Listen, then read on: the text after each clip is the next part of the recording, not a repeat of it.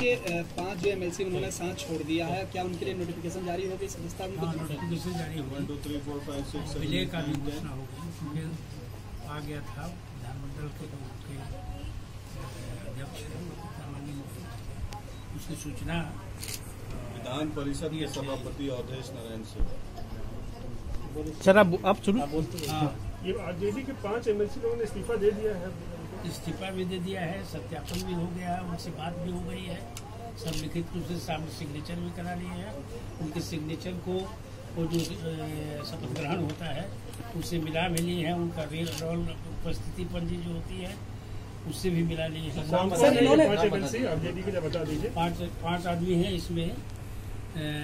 संजय प्रसाद जी श्री राधाचंद्र शाह श्री दिलीप राय मोहम्मद कमर आलम और रणविजय कुमार सिंह। ये खाली पदों के लिए क्या फिर नोटिफिकेशन जारी हो गया खाली पद कहाँ खाली हो गया लोग तो जनता दल यूनाइटेड में शामिल हो गए सर जेडीयू में सभी शामिल का हो चुके हैं जेडीयू में शामिल हो चुके हैं। सर इनके जाने ये, इनके जा- जो लोग गए हैं केवल इनके पार्टी की सदस्यता तो इनकी विधान परिषद की सदस्यता तो नहीं जाएगी लोग पार्टी से केवल सदस्यता लिया और इस्तीफा दिया पार्टी से वो हो गए हैं जो रिक्विजिट क्वालिफिकेशन है टेंथ शेड्यूल के अंडर उसको पूरा करते हैं पाँचों मिल करके और पाँचों एक साथ मिल करके दिए हैं।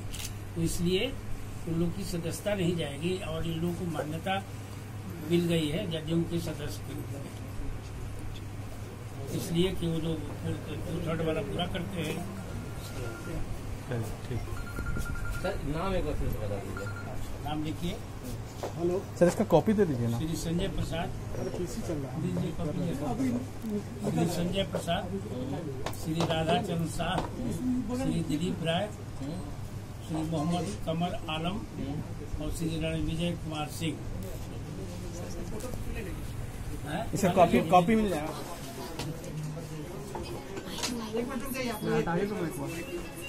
और आगे कर रहा है।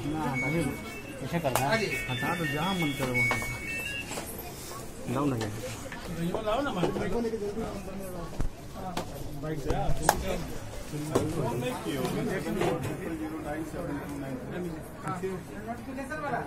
ये तो चेयर लाओ ना यार हम बैठेंगे तो तुम्हारा अच्छा है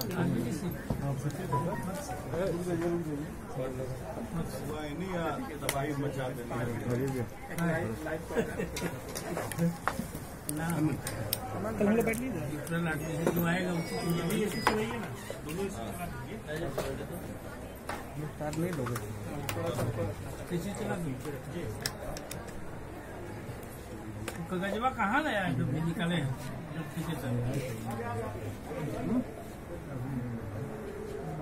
विजय